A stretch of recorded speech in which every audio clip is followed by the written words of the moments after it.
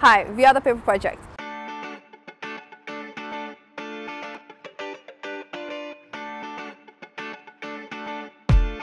We are a young group of migrants that got together in 2013 by Ovalhouse.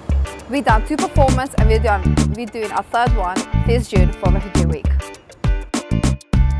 As I'm a member of the Paper Project, when I came to this country, I had a lot of bad experience back home and I, was less confident.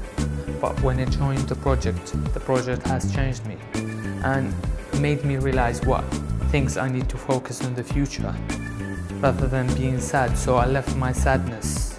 Other members of Paper Project becomes my family, my second family that I trust and rely on and we all do different things but we come, we join together to do a good thing that impact on young artists. And if I had the money, if I had the money to fund this project, I would give it. Because this project helps a lot of young refugees to become more confident and to come together, make friends and do something good for their future. And drama has changed me.